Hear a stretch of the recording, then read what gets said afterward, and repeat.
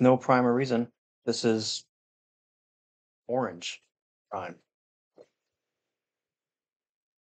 Broke the seal, but it is not been drank. It smells like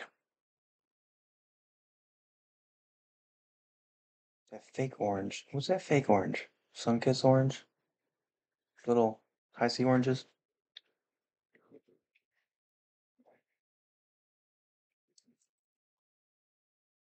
Naturally flavored.